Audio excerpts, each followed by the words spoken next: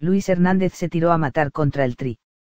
Él es futbolista y mundialista mexicano, habló sin medias tintas y emitió su opinión acerca del equipo que representará a México en el Mundial de Rusia 2018, en donde ya tiene su boleto asegurado.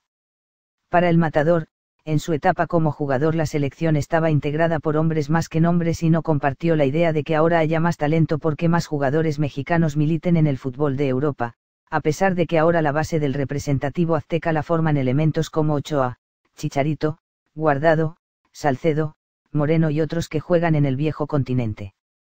Te puedo decir que mi selección no era tanto de nombres sino de hombres y hoy en día la selección sí es reconocida porque tiene muchos jugadores en el extranjero, pero esa categoría se lo tiene que ganar uno en la cancha. De más talento no puede ser, puede ser una de las camadas que más jugadores tiene en el extranjero y por eso tengan talento. Hoy en día la apertura para salir es muy diferente a cuando estaba en activo, los tiempos han cambiado pero eso no quiere decir que sean, más talentosos, comentó. En cuestión de mentalidad, el es delantero también consideró que antes se estaba mejor, sin embargo, espera una buena actuación de México en la próxima justa mundialista y que se pueda llegar al anhelado quinto partido.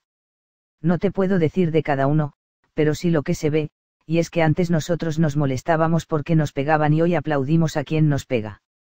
No hay esa forma de ver al fútbol de otra manera y creo que la mentalidad antes era mucho mejor que ahora, opino. Aunque México logró su calificación más rápida a un mundial en las eliminatorias y fue la quinta selección en obtener su pase a Rusia 2018, Luis Hernández no le concede ningún crédito al entrenador Juan Carlos Osorio, pues considera que no transmite nada como técnico y señaló que debió haber renunciado tras la goleada contra Chile en la Copa América. Yo no le doy ni un crédito a Osorio, ni un crédito a un entrenador que a mí no me refleja nada. Es muy respetuoso a la hora de hablar, parece argentino, pero eso de transmitir, de dejar un legado, una trascendencia, no. Desde la goleada lo hubieran corrido, cuando le metió siete, goles, Chile, ahí por vergüenza hubiera renunciado, pero no lo sacan por otros intereses y a final de cuentas les es más barato seguirlo manteniendo paso a paso, puntualizó.